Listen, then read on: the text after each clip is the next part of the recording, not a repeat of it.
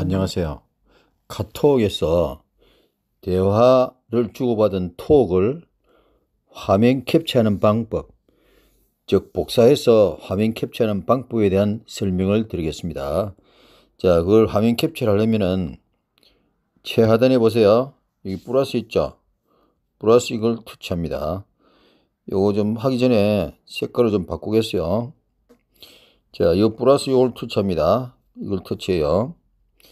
터치하면은 이렇게 왼쪽으로 밀면은요. 여기 캡처라고 있죠. 이 캡처란 이 메뉴를 사용합니다. 자, 캡처를 제가 터치하겠습니다.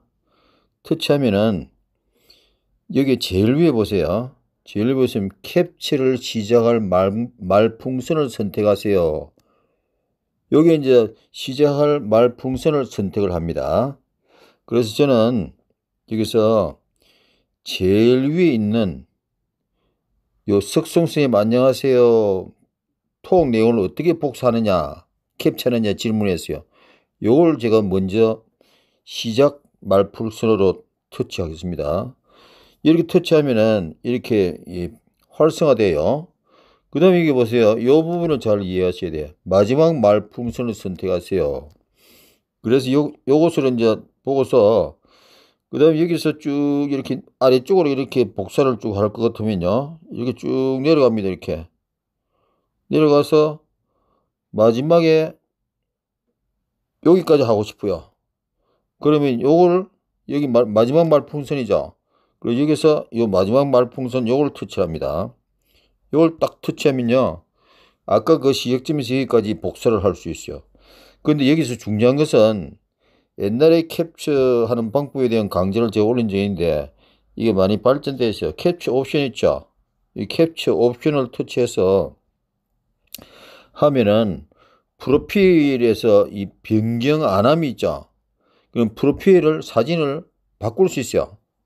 그래서 여기서 모자이크로 바꾸든지 혹은 카카오 프렌즈로 바꾸든지 해도 돼요. 그러면은 그러면은 그 이름이 바뀌어요. 그래서 저는 카카오 프렌즈로 터치해 보겠어요. 요걸 선택해 보겠어요. 다음에 이 배경은 변경 안, 하, 안 해도 되고 기본 배경으로 바꿔도 되고 이건 크게 차이 없어요. 이걸 하든지 이걸 하든지 하시면 돼요. 저는 기본 배경으로 터치했어요. 그리고 이렇게 한 다음에 제일 밑에 뒤로 가기 있죠. 뒤로 가기 이것을 터치합니다. 그렇게 한 다음에 에, 여기서 중요한 것은 제일 아래쪽에 보세요. 제일 아래쪽에 다운받기 있죠. 지금 화살표로 지금 가르치겠어요. 다운받기 이걸 탁 터치합니다. 그러면 저 위에 보세요. 갤러리에 지정되었습니다. 이렇게 떴죠. 그래서 여기서 갤러리로 갑니다. 갤러리로 가면은 여기 마지막에 탁 보면요. 이같이 저장이 되어 있습니다. 보세요. 저장이 여기 마지막으로 이렇게 저장이 되어 있고 자, 여기서 여기 보세요. 궁시렁 프로도 해놓고 이 프로필 사진도 바뀌고 다음에 아이디도 프로필 별명도 바뀌어 놨어요. 이렇게 이렇게 바뀝니다. 그래서 이것을 에, 상대방에게 보낼 수도 있겠죠. 이걸 이걸 길게 터치해 가지고 밑에 공유 아이콘 있죠.